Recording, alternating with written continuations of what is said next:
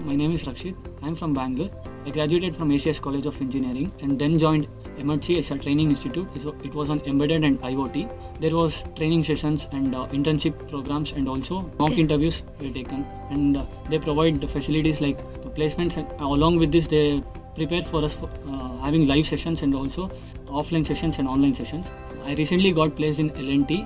It was a step-by-step process. They allow us to take lots of career opportunities and also build our career with uh, different companies. They give us opportunities, uh, high-standard companies.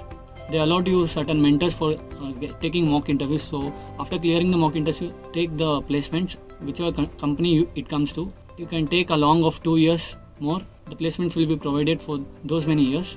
After completing your DDS module, you will be eligible for the placements. If any of you are looking for a core embedded, after completion of your BE, you can join Emertxe, which is good for placements and also career building and having growth of knowledge. Thank you very much